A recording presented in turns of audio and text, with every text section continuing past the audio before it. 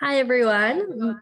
My name is Ramona Crapot. I am the Israel Programs Director.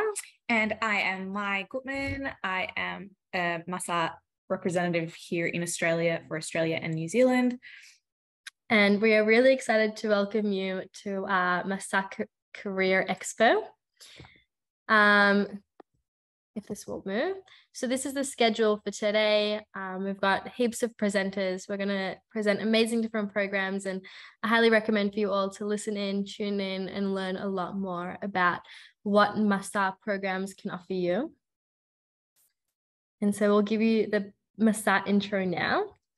Um, so MASA was established in 2004 as a joint uh, project of the Jewish Agency um, and the Israeli government. And its aim is to provide long term immersive programs in Israel that range from four to 10 months um, and ages 16 to 35.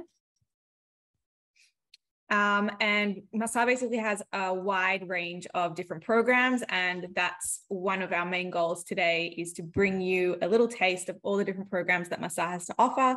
So we have volunteer and community service programs, um, internship and career development programs, which is what we're mainly going to be focusing on in this expo. Um, we also have undergraduate and graduate academic programs, so study abroad and things like that, and Jewish studies programs and gap year programs. Um, we did have uh, earlier this year, we had our gap year program fair, so we will um, attach the link to that um, a little bit later if anyone else is interested in hearing about those programs. Oh, the way.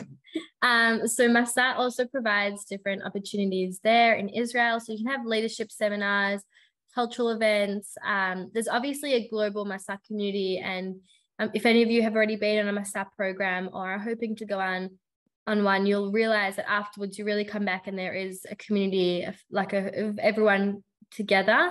Um, you also have the opportunity to learn Hebrew in an Ulpan um, and organize trips in Tiolim.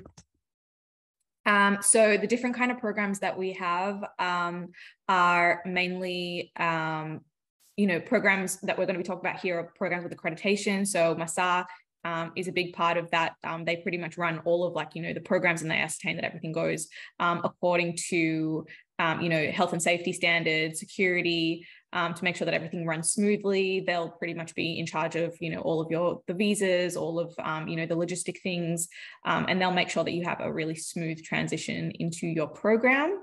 Um, they'll also, on the funding side, um, we'll discuss this um, in a second, but they provide, you know, grants and scholarships to participants who are otherwise, you know, financially burdened. So the grants and scholarships, there is a universal grant of up to 5,000 US dollars um, you also have the option to opt out and donate this money to someone else. Um, this universal grant is dependent on the program and the length of the program. But on the other hand, we have the means tested scholarship, which is up to 6,500 US dollars. Um, this is based on income and length of program. So you have to provide full tax returns in order to be eligible for a needs based scholarship. Um, as the other one, pretty much any everyone is eligible from the get go for the universal grant. Um, these two options really try aim to get everyone to Israel. You'll also hear from the different programs um, their prices, and some of them it covers it the cost, some of them it doesn't. Really ask the people who are coming and the, your, the program representatives about this and and how this can help you. Um, we will mention that there are other ways you can get um, grants and and funding aside from MASA, but we highly obviously recommend to use this avenue. Um, so in order to apply for MASA, you do need to pay um, a deposit of $50 and this um, basically adds into the entire cost of the program. Um, so if you do end up going on the program, it's just $50 off the um, initial amount. Um, and they are paid directly to the program provider. So there's no kind of back and forth between um, yourself independently and the program. It goes from MASA to the program organizers. So how to apply for funding? Um, you apply for your program directly so if you decide to go on Yahel, um, which is the our first presenter, you apply with them directly, and then you will apply for MASA and the Universal Grant. Um, straight away afterwards and you'll have that application. Um, and then afterwards, you have the opportunity to also apply for the needs-based scholarship. So you can continue your application by applying for this, or after you've applied for MASA and the Universal Grant, you can complete your application. Um, it's really, really important that every MASA fellow needs to apply for the online application, whether or not they are applying for funding or not, um, because this is the way, your way to get in to Israel with a visa um, and all these other programs and things that MASA offers. You have to ensure that you've applied for MASA. Um, so um, obviously the, the health, safety and the security of every Masa Israel journey participant is the first priority. Like I mentioned before, um, receives direct health and safety updates and requirements from the Israeli government, which is then passed on to individual programs. And those programs are required to adhere to all the regulations. Um, so whether it be a COVID issue, whether it be um, security, anything like that um, in Israel, uh, will be able to advise as to how to proceed and the program coordinators and the program organizers are very much um, aware of all of the different um, requirements and the regulations that they need to adhere to. So, how to enter into Israel?